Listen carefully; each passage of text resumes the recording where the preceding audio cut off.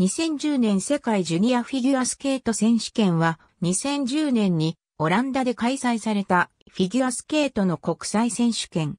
2010年世界ジュニアフィギュアスケート選手権は国際スケート連盟の主催による世界ジュニアフィギュアスケート選手権の2009から2010年シーズン開催である。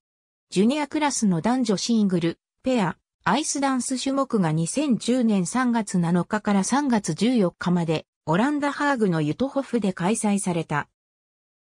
練習用リンクとしてユトホフとズーテルメールシルバードームが用意されたが、この2つのリンクは 25km 離れている。国際スケート連盟に加盟する各国のフィギュアスケート統括団体に対し出場枠が与えられ、各国に対する出場枠は種目ごと、前年大会の結果により1人から3人までと決められた。各国のフィギュアスケート統括団体において出場選手が選出された。出場人数ルール詳細については、世界ジュニアフィギュアスケート選手権各国の大会出場枠についてを参照。